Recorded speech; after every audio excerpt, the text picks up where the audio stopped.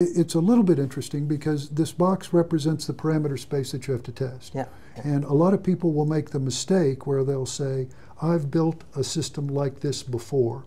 Right. And so I know what it should be for everything. Yeah. But yeah. the problem is, is that when you develop code rules, is you have to cover the full parameter range, right. every range of uh, the type of system that you're evaluating. B31.5 is different than B31.9, is different than B31.3, yeah. it's different than B31.1 for a reason. Yeah. So you have to make sure you cover all of the different aspects. High temperature, cryogenic, large D over T, small D over T, uh, different types of supporting systems, cold. I mean, the, uh, all of these things have to be included. Plus, the, the most difficult thing in the original development of B31J was all of the, the sizes, because all of the sizes hadn't been covered. Most of Markl's tests were done on four inch size on size fittings. Yeah, well, four inch size on size fittings doesn't, it's D over T of around, of around 20. Yeah. You know, the largest D over T is 100. Yeah. So all of, whenever you consider the code rules or looking at the tests or thinking that you've got something that I know how to do this, as Yeah. soon as you move into a different area in the parameter range, that's Right. when you have to stop and say, okay,